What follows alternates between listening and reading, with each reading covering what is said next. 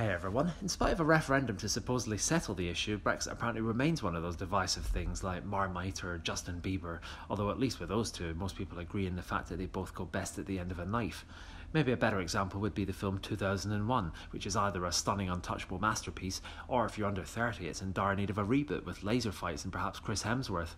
Unfortunately, that's the level of intellectual debate we've come to with Brexit, a chasm of opinion that Jeremy Corbyn has ironically managed to bridge by explicitly not having an opinion on the subject. It's rather like me being asked by a vegan what my favourite bean is, to which I suppose the answer would be that Christmas one where Rowan Atkinson visits Harrods.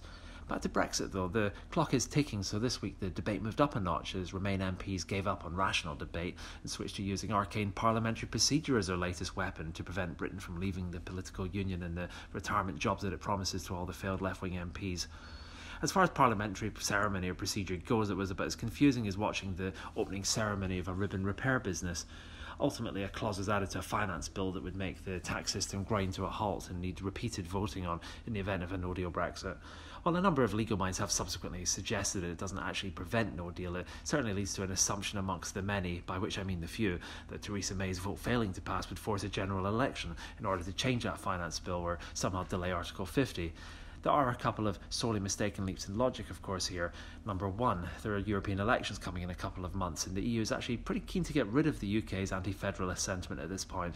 Number two, if Labour were to win a springtime election, the Northern MPs would make Brexit more likely, unless they're envisaging some kind of crazy national government when the likes of Kenneth Clarke, sorry, Kenneth Conrad Clark are invited along to sit next to Corbyn.